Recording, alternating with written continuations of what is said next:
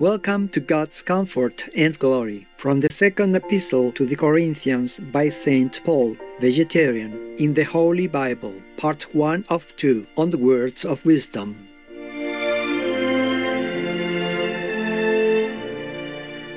Jesus Christ, vegetarian, prophet, Son of God, Prince of Peace, Savior, and Friend.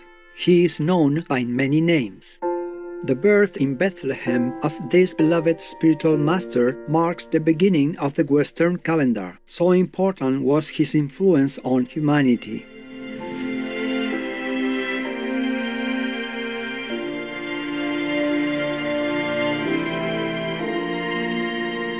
Lord Jesus taught God's love and forgiveness to all people with open hearts. He is specially loved and remembered because of his sacrifice to cleanse the sins of his disciples and of the world. Three days after his crucifixion, he arose from the dead, as witnessed by some of his disciples.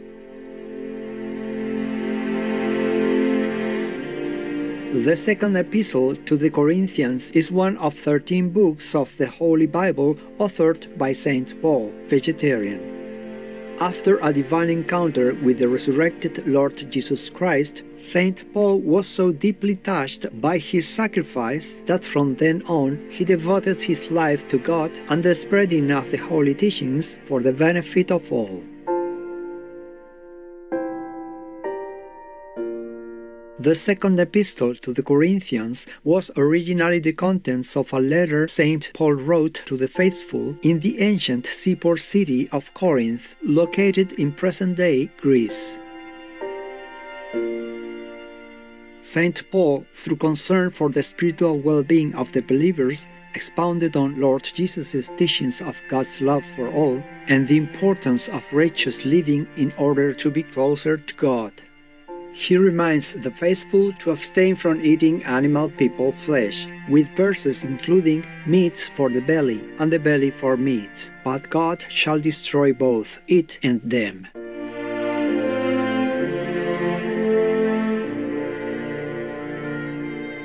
Today we are pleased to present excerpts from chapters 1 to 2 from the second epistle to the Corinthians in the Holy Bible, where St. Paul reminds us to comfort each other as we are comforted by God.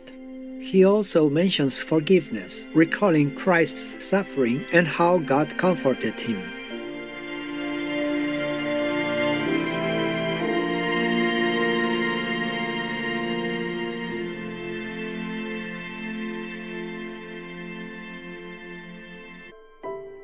Two Corinthians chapter 1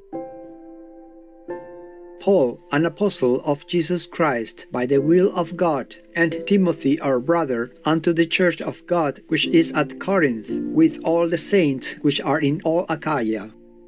Grace be to you and peace from God our Father and from the Lord Jesus Christ. Blessed be God, even the Father of our Lord Jesus Christ, the Father of mercies, and the God of all comfort who comforted us in all our tribulation, that we may be able to comfort them which are in any trouble, by the comfort wherewith we ourselves are comforted of God. For as the sufferings of Christ abound in us, so our consolation also abounded by Christ. And whether we be afflicted, it is for your consolation and salvation which is effectual in the enduring of the same sufferings which we also suffer, or whether we be comforted, it is for your consolation and salvation. And our hope of you is steadfast, knowing that as ye are partakers of the sufferings, so shall ye be also of the consolation.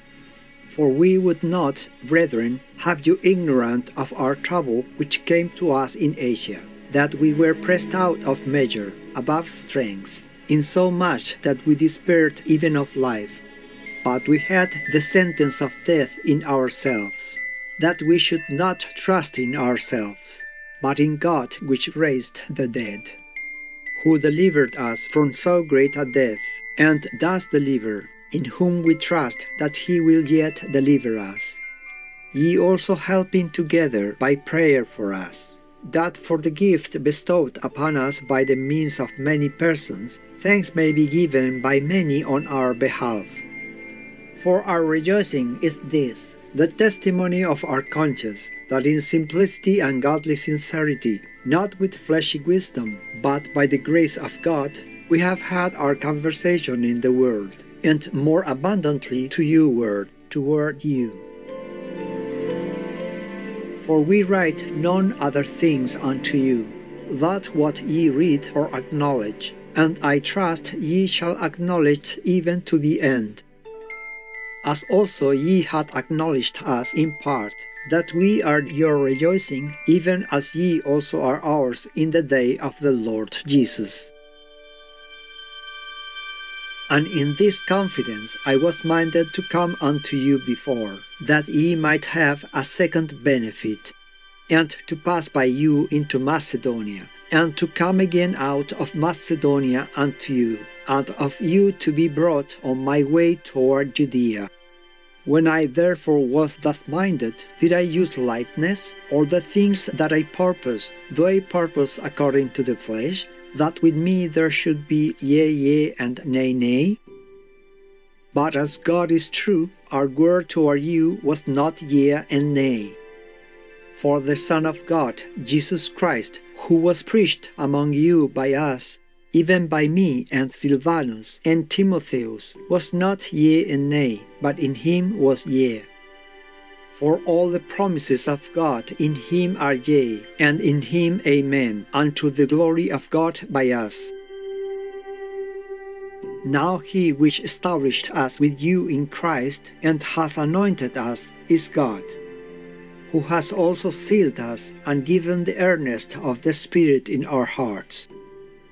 Moreover, I call God for a record upon my soul that to spare you I came not as yet unto Corinth. Not for that we have dominion over your faith, but are helpers of your joy. For by faith ye stand. 2 Corinthians chapter 2 But I determined this with myself, that I would not come again to you in heaviness. For if I make you sorry, who is he then that makes me glad, but the same which is made sorry by me? And I wrote this same unto you, lest, when I came, I should have sorrow from them of whom I ought to rejoice, having confidence in you all, that my joy is the joy of you all. For out of much affliction and anguish of heart I wrote unto you with many tears, not that ye should be grieved, but that ye might know the love which I have more abundantly unto you. But if any have caused grief, he has not grieved me, but in part, that I may not overcharge you all. Sufficient to such a man is this banishment, which was inflicted of many so that contrariwise ye ought rather to forgive him and comfort him, lest perhaps such a one should be swallowed up with overmuch sorrow. Wherefore I beseech you that ye would confirm your love toward him. For to this end also did I write, that I might know the proof of you, whether ye be obedient in all things. To whom ye forgive anything, I forgive also. For if I forgave anything, to whom I forgave it, for your sakes forgave I it, in the person of Christ. Lest Satan should get an advantage of us, for we are not ignorant of his devices. Furthermore, when I came to Troas to preach Christ's gospel, and a door was opened unto me of the Lord, I had no rest in my spirit, because I found not Titus my brother. But taking my leave of them, I went from thence into Macedonia. Now thanks be unto God, which always causes us to triumph in Christ, and makes manifest the savour of his knowledge by us in every place. For we are unto God a sweet savour of Christ, in them that are saved and in them that perish.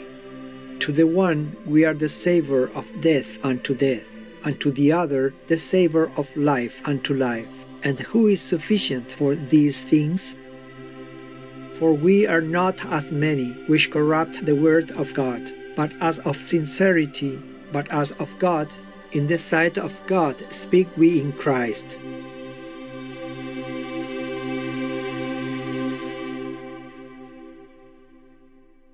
Vegan, cause we cannot do otherwise to survive.